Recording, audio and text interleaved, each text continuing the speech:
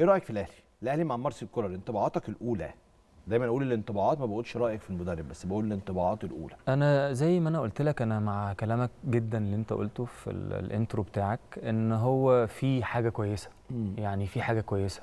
آه، رجع شخصية الأهلي شوية. إن أنت ما بتدافعش بقى بتاع الديفندرات والجو اللي إحنا كنا بنشوفه مع ال- ال- الفترة اللي فاتت. مم. لكن أنا عايز أقول لك على حاجة بس عشان أنا ما أنا عن نفسي ما بحبش يتصدر لي كلام وأصدقه. مم. يعني الأهلي ما راحش. قبل كده أصلا. خالص. آه يعني قبل ما. كله ما كانش الاهلي راح خالص خالص. خالص خالص. إحنا الحياة كده. الدنيا آه، ربنا. عاملها كده. يعني ما فيش حد بيفضل في في التوب على طول. ما فيش حد بيفضل تحت على طول. صح. الأهلي ما بيلعبش نفسه.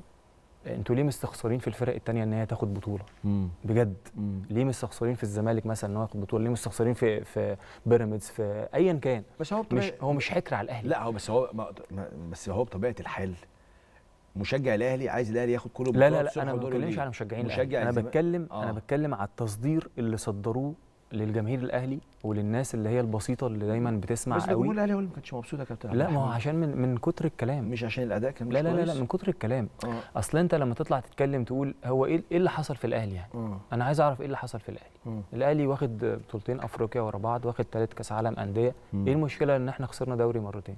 إيه المشكلة؟ وكاس. أنت واخد وكاس. واخد يعني بالمقاييس. انت بالمقاييس مم. انت في حتة تانية خالص مم. خالص خالص فطبيعي جدا تحصل لك شوية كده تريح شوية. آه، تفوق شوية تجدد شوية تبدأ تشوف عيوبك شوية. ما انت لو ما حصلش قرصه ليك عمرك ما تشوف انت فين صح لازم تشوف انت فين من خلال الوقعات اللي بتقع